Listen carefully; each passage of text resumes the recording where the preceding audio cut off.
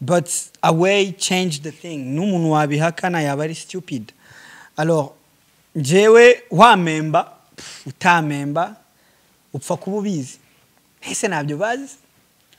Kuki bayigize song of the year? Eh, kuki bayigize best collab of the year? Cyarimwe nese umuproducer we producer of the year ni ndese ni producer wakoze best song of the year man. Hari ibintu nyine abantu bishyiramo batarabyiga neza nabo tu je ntabwo nakubesha my brother. Jalas. Je mvugisha ukuri kugira ngo nje ntabwo ndi indyarya bro. Mm, yeah, I know.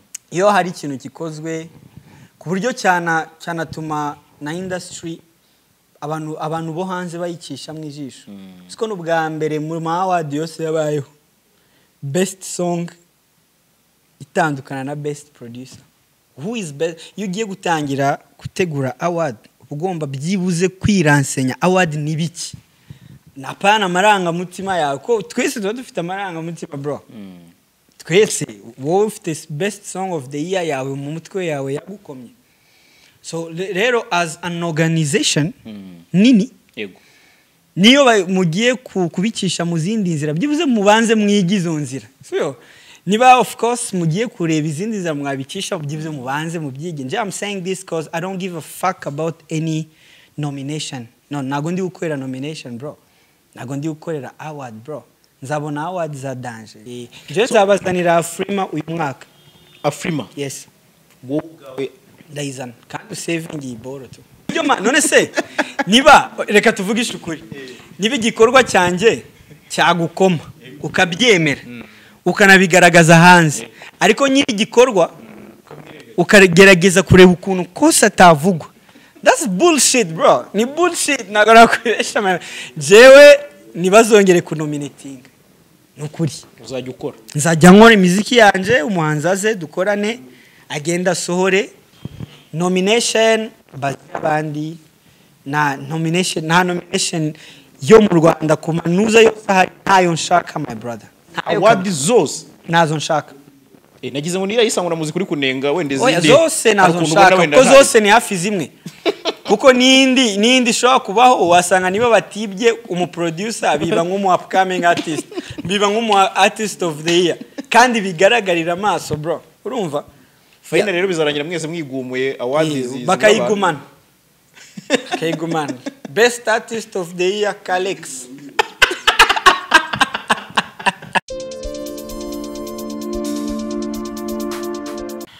Right. Reka twizere ko mumeze neza cyane abakunzi ba jaras official tv twizere ko muri amahoro uyu munsi ah, nk'uko muri kubibona twagendereye umuproducer mukunda. Ah, ntabwo akunze kuba ku mashusho ariko ndumva hari videwo imwe nigeze mubonamo. Muza hano mu rwanda. N'izindi. Ariko yamye ari n'umusani buriya tu. Wapi kabisa. Zenda umuproducer bro. rush. Yo yo. Eyo rush. The best producer in the country bro. Ni ukuri Eh. nta n'utabizi eh. Iye ejo bundi- ejo bundi wujuje ingahe? Nabonye wari wafise makumyabiri n'itatu. Ariko ibinyamakuru byanyongereye umwaka umwe.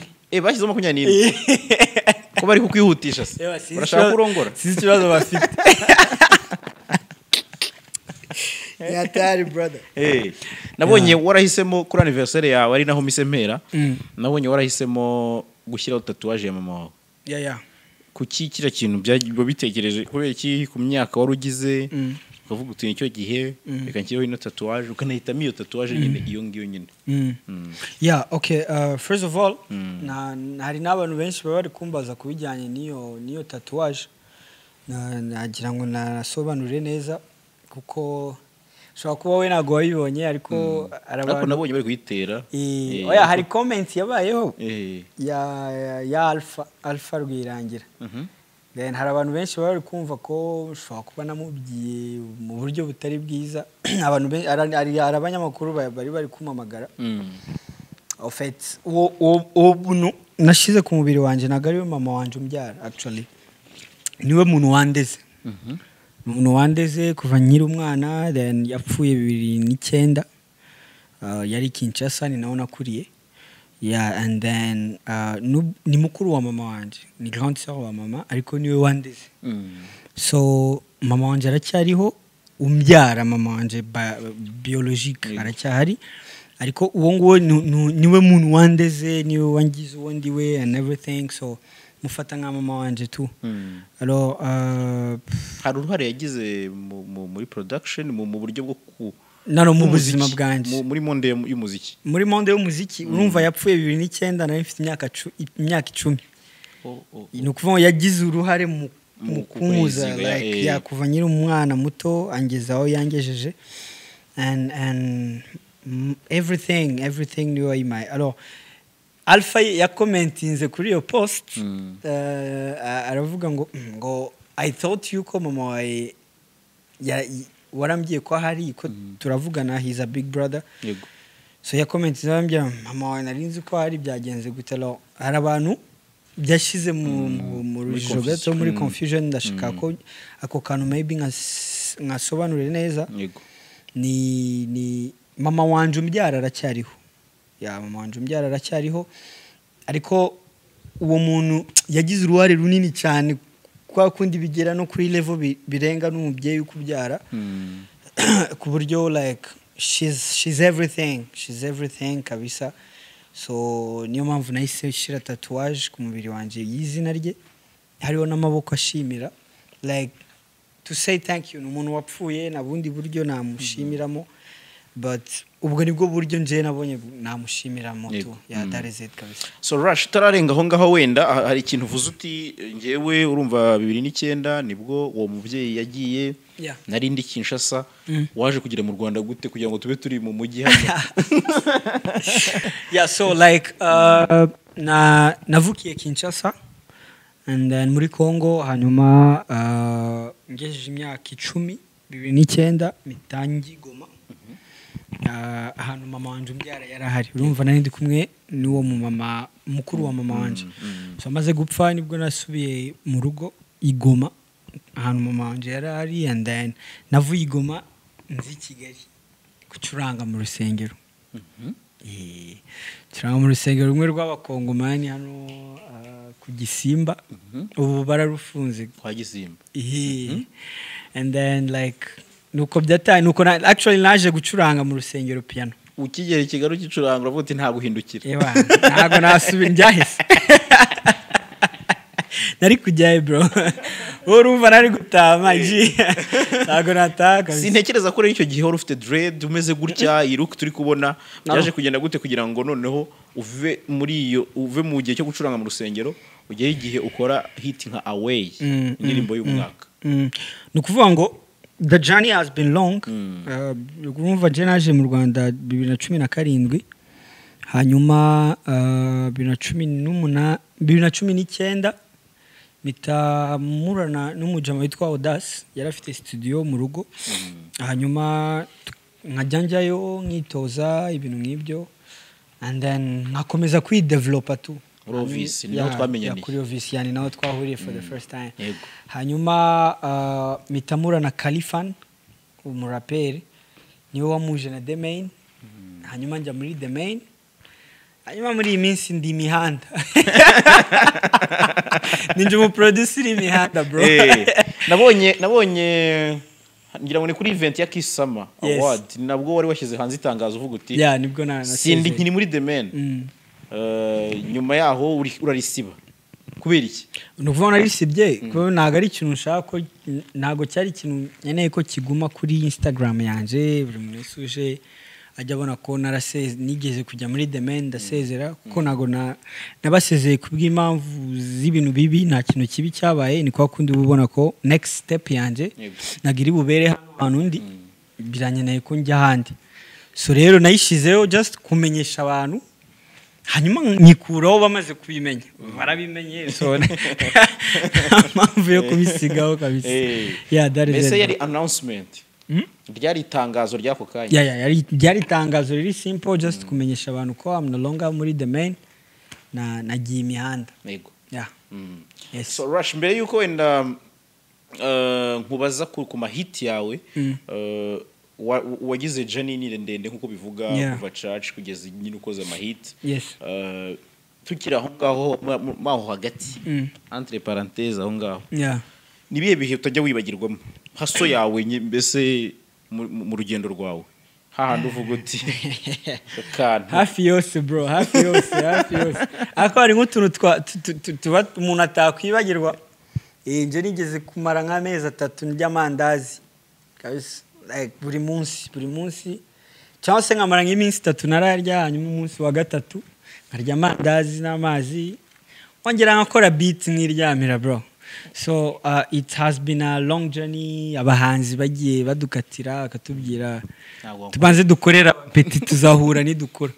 N'ubu twarahuye nanjye n'abagiye babanza bakoranye n'abapeti. Ubu nabo bari gukorana n'abapeti bamwe na bamwe muri bo. Tuzahura mwarakuze. barashaje rero so yeah like the, the journey has been long bro. Yeah. Na- naraye kuri tapi hasi nibuka nyiri gutangira hari igihe byabaye ngombwa ko nguma kuri studio kubera ko nta matransport umuntu yabaga afite everyday Yego. kisanga rero ni ngombwa ko urara aho hantu kugira ngo n'ejo mu gitondo uzinduke. Ko ikintu ibintu nka production ni ibintu bisaba ko uba ubirimo nyine nubikore ngo icyumweru witwirekaho gato and then uh, like ubibemo tu. So icyo gihe wasangaga nta bintu by'amatransport bro. Nta mafaranga umuntu yabaga afite ni ukuguma aho hantu. Niba hari ibiryo ukabirya niba ntabwo bihari ukaburara but yeah thank god ibintu byarahindutse. Mm. yeah. hari umuntu wakwibaza impamvu uvuga ikinyarwanda neza gutyo tu? Warakize. mu rugo barakivugaga. Wakuye ikinyarwanda umuntu uri inyuma ya kamera yari mu bantu banyigishije ikinyarwanda buriya keve keve arimo kabisa. Ni keve anzi mvuga ibinyarwanda bitabaho bro. Rimwe muri church ko njye na- na- na- nabaye umu worship leader. Nabaye umu worship leader mu nkuru nziza hano mu mujyi Eh, no na kwa minyoni. Rimwe nari ndi ku- kuyobora mpita mbwira abantu ndi mu mwuka kaza babwira reka tuzamurire imana ibirenge. Bro it was crazy muri church it was crazy. Pastor we- kugira ngo bajye mu mwuka abantu bose barumiwe ikinyarwanda ariko ikintu cyatumye nyimenya nuko nabanye cyane nyiza nahise mbana n'abanyarwanda ntabwo nashatse ku- kureba ngo eh, ngo abandi ba diaspora eh, uziko ndi mu diaspora? Wa? Eh, oya se uri umu diaspora wa Kongo ndi mu mu diaspora wa Kongo uba mu Rwanda bro. Eh. yeah so urumva rero njye nahise mbana n'abanyarwanda nabo ba- ba- batari bazi indimi zanjye mvuga. Mm. so biba ngombwa ko niyadaputinga kuri ku kinyarwanda. Ni nuko nko naje kukimenya. Ariko ntabwo kiraba fresh. Ndacyari kukiga tu kiza- kizaza. Yeah man. Yeah, so u- u- umubwira uti best producer in the country. Yeah man. Ko batabiguhembera? Nta nubwo nshaka ko bazabimembera buriya njye ndabizi nabo barabizi. Mm. Eh. Nese niba bahemba indirimbo ikaba best song best collab of the year Mm. ni ubwa mbere indirimbo imwe ifashe award ebyiri mu Rwanda. Iyo ndirimbo ni ubwa mbere ya- yari bwari ubwa mbere indirimbo yujuje miliyoni mu gihe gito igihe yasohotse. So bro kandi n'ubwa mbere tubonye abahanzi bato bahuriye mu ndirimbo ikaba hit. bwari ubwa mbere abahanzi bato bagejeje miliyoni. Urumva iyo ndirimbo ifite ifite ibintu byinshi yakoze. Yari na breakthrough yawe. yes yari na breakthrough yanjye yari na breakthrough ya, ya real ways. Na juno ya, it was kind of a breakthrough for him because of course yari afite izindi yakoze nk'ebyiri solid n'izindi nazi. But a way changed the thing. N'umuntu wabihakana yaba ari stupid. Alors njyewe wamemba utamemba upfa kuba ubizi. Ese ntabyo bazi? Kuki bayigize song of the year? Eh.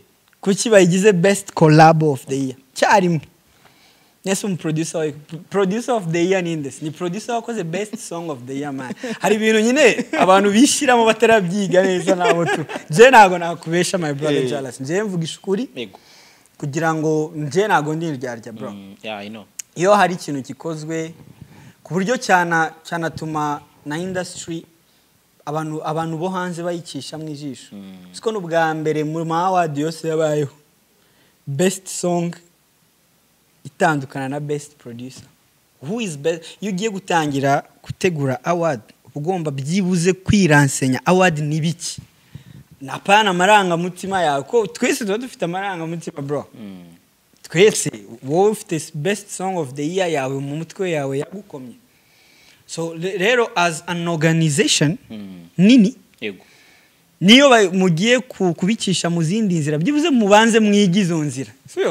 Niba of course mugiye kureba izindi nzira mwabicisha byibuze mubanze mubyige. Nje I'm saying this cause I don't give a fuck about any nomination. No ntago ndi gukorera nomination bro.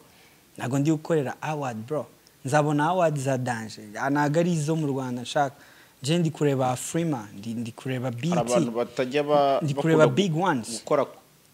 Gukora komprima ku bintu kugira ngo wenda bataza yes. Iyo ni ukuvuga ngo hari batazanga kunshyiramo Eh, Eh. banshiramo batanshiramo. Nzabaha imiziki.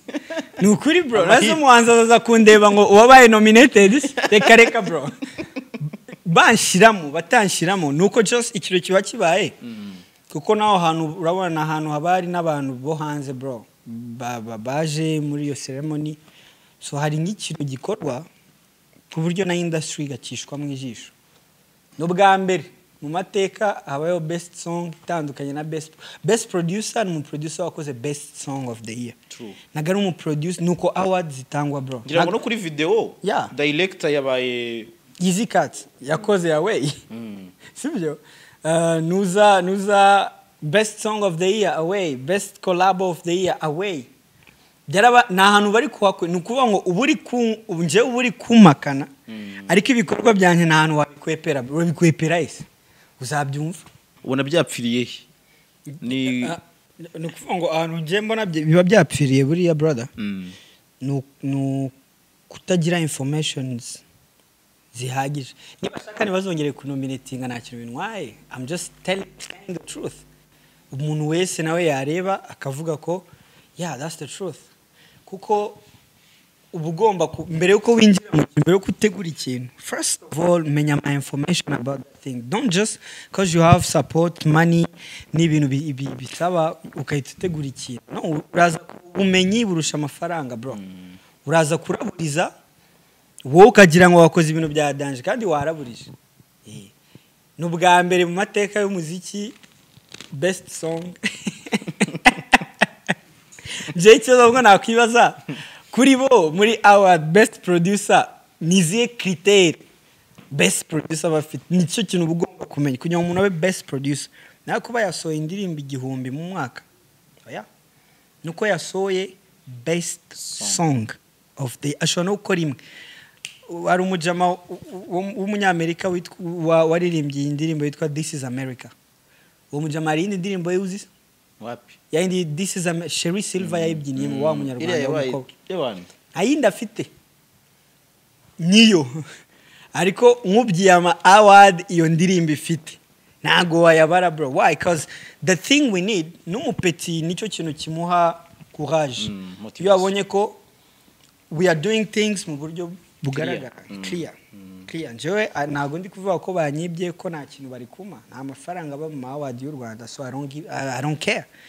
Ahubwo ikintu ndi kuvuga ni uko at least for the case yo gukipinga standard ya industry turi kubaka mbere yuko dutangira niba ugiye gutangiza award. Ntabwo wabyuka utangiza award. Niba ugiye gutangiza award ntabwo ari utwo dukombe gusa. Wagenda ukatudesigningisha bro tukabaho. But gerageza umenye award ni iki? Kategori runaka critère ni izihe that is it. Industry iba iri kukishwa mu ijisho bro. Aho ngaho hariho abahanzi bo hanze ba Eddy Kenzo they was there. Yeah. so that's stupid. Kuko urumva nk'umuntu nk'uwo Eddy Kenzo akibanye iyo ndirimbo ifashe award ebyiri. Ahubwo uvuga iyi ndirimbo ese ninde wayikoze? akamubwira n'undi ese ntabwo ari uwo ngo ba- ntabwo ari we? Ese byagenze gute? urumva ni ibintu utasobanura bro. Ariko mu rwanda burya muri industry y'u rwanda birashoboka. Everything is possible muri industry. So just biba bibabaje kandi buriya ha- ha- hari ukuntu man I'm going to tell you the truth cause hari ukuntu muri industry y'u rwanda abahanzi cyangwa abantu bose bari muri ba- batinya ukuri.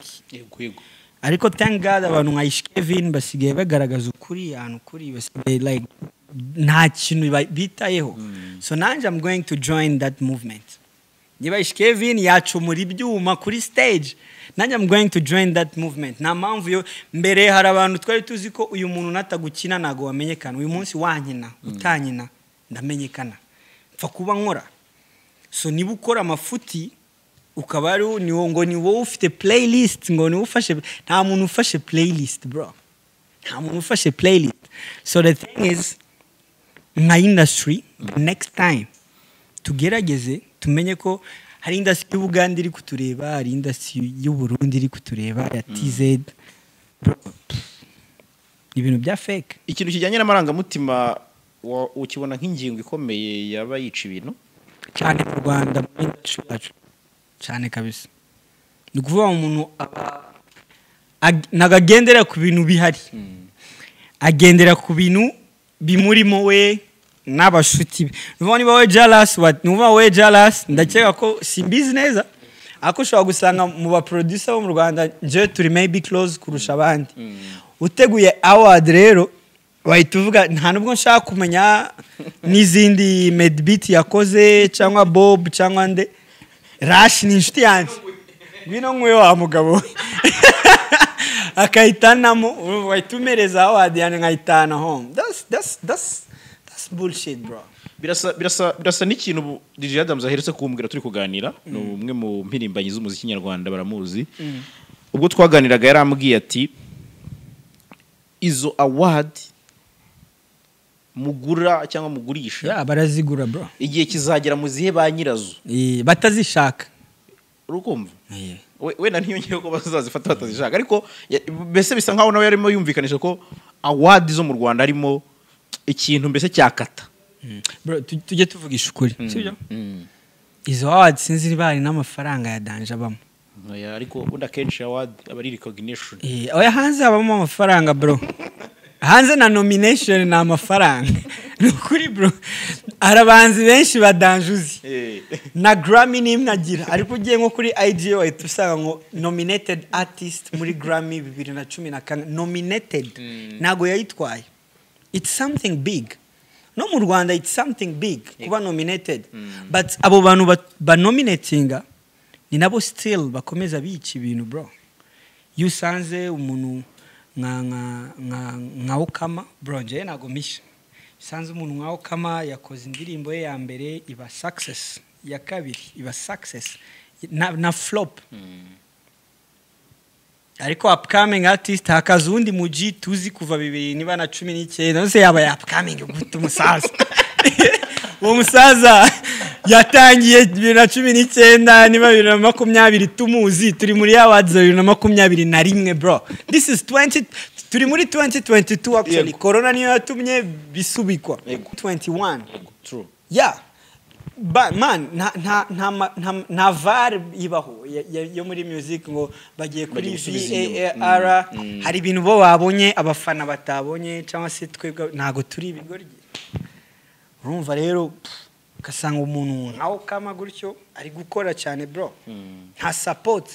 Na bamwe kugira ngo bamucurange arabishyura ariko ugasanga niyo support yo kuvuga this kid man in the next five years ushobora gusanga abo bantu bari kumuvuna bari kumugora nibo bazaba bari kumwiruka inyuma ariya big star. Nicyo kintu industry i- iba idatekereza diamond waririmbye mawazo ni we diamond aka kanya wa performance muri Yeah. Ejo bundi. Niwe muhanzi wa mbere muri east africa kuva Grammy yabaho wa performance muri Grammy. It's something big. True. abantu bazapafominga icyo gihe. Abantu bo mu rwanda bazapafominga aho hantu. Brother nibaho kama nibaho kama ni ni ni ni ni ni- ni ba ni ni ba Juno ni ba Railways. Kuko abandi bamaze hari kuntu imyaka igenda tukabona ko yagiye. Eh yagiye abapeti tubashyiremo imbaraga. Ni ukuvuga ngo ikintu kibura muri industry yacu turabura aba fathers. Dufite aba big brothers. Dufite abakuru bacu. Ntabwo dufite abapapa kuba umukuru wawe ashobora kukugirira ishyari akavuga eh umupeti nandusha. Bazansuzugura mu muryango tu. Ariko papa wawe nta na rimwe yakugirira ishyari. Ahubwo ikintu ahora yifuza ni ukuvuga uyu mupeti agere kure. Nicyo kintu ubona muri nigeria ni cyo kintu ubona muri tanzania. Diamond agafata umuntu nka harmonize akamukora from zero. Harmonize akagera kuri level atangiye kuhangana na diamond. Yego. and that's good. That's music niyo industry. Hmm? olamide agafata umuntu nka fireboy akamuzamura. Fireboy agatangira gukora ama records olamide atarakora mu buzima bwe muri industry yiwe. Joboy ari gukora ibintu nuza atarakora yitwa gute this nigga U- uyu mu manager wiwe wa empire uh, empower. Uh, uh, yitwa gute? Ndamwibagiwe naribi Mm. ariko like ugasanga a- hanze ba- bamenye kuba aba fathers bamenye kuba aba papa. Iyo abonye umupeti uri kuzamuka amureba nk'umwana we ntabwo amureba nk'umupeti frere we. Twe tuhura n'umuntu wagafashe kuva kera bro bibiri na kangahe? Ngira ngo ni n'ingingo yatanzwe nk'intege nke za industry yacu. Kabisa bro. Kuba tutabonamo ba bantu bacutsa abandi donc ukabona ko The Ben amaze imyaka cumi n'itanu mu muziki n'urugero Mm. akaba afite umwana wenda umaze imyaka ibiri. Nawe ufite indi standard. Hari ukuntu ba- bigeze kubivugaho kuri Melody na ba ariko nyuma biza kuvuga ukundi kuntu. Ntacyo. Uri ko byibuze wabonaga ko byibuze. Melody hari stage hari brand abahaye hari niyo platform. atabaha amafaranga izina rye cyari bari Eh. bafashije. That is it. Yeah. So rero gishobora kuba n'ubundi icyo kintu ushaka gupointinga ijana ku ijana. Kijyanye mbese no kuba generasiyo zareka conflict conflict de generasiyo kuko hari ukuntu abantu bamwe bavuga ati twe turi abasaza. Hari n'abandi bavuga bati natwe ni bwo dufite imbaraga nyinshi. Hakabura noneho cya kintu cyo guhuza niba muri abasaza mufashe abo bapeti. Mufashe abo bapeti kuko nibo nibo industry bro niba waragafashe nupfa biraba birangiye. Ariko niba waragafashe tuzi neza ko hari umuhanzi ubu twese turabizi ko Juno yaje kubera umugabo witwa Bruce Melody. Cyane. We all know it. No kugera igihe Juno azavaho cyangwa Bruce Melody Cyangwa aveho cyangwa akanamuruta nta muntu uzabyibagirwa ko Juno twamenye iryo zina Juno. Because of Bruce Melody. Nimbe na Kenny hari ukuntu yirwanaga rwanagaho twari tumuzimo gake ariko nka Juno twamumenye kubera Bruce Melody. That's something big bro. Afite n'impamvu yo gucelebrating iyo myaka icumi. Ni sawa. Hari ikintu yakoze. Hari umuhanzi ukomeye yaduhaye. Juno is good. Juno is great. Yeah. but like we need that. Ni nacyo kiri gutuma ugasanga niyo ma nayo ma award irimo arimo akavuyo kenshi. Nje ntibazongere no kunominatinga ni ukuri ufashe umwanzuro se ngo uwo mwanzuro se murigeze kuwufata nawe. Ni ukuri bro. Nibyo ma none se niba reka tuvugishe ukuri.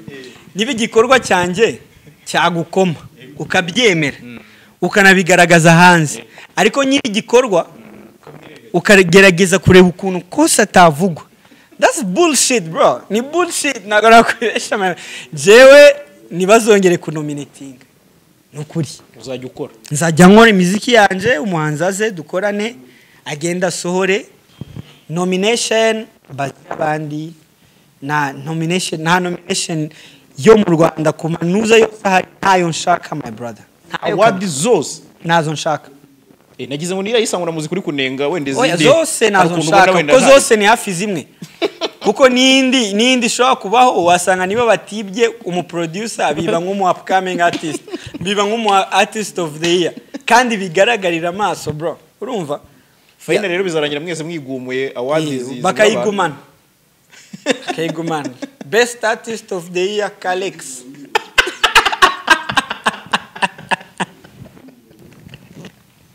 Best female Roxanne. Eren bro ni ukuri man ni ibintu biba bibabaje ni ibintu biba bibabaje ariko njyewe I'm serious brother. Na award yo mu Rwanda kabigasekwa nkakeza raje brother. I'm so sorry. No it's okay bro. Yeah. na, na, award yo mu rwanda nyikeneye kuko it's not just about me.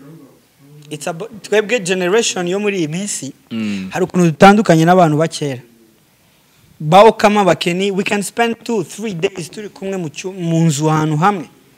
We are sharing we are trying your relation tuba tu- tuba turi aba brothers yego so when i'm saying something I- I'm saying not just about me. Yeah. I'm saying it about The generation, the whole generation. bose yeah. Mm.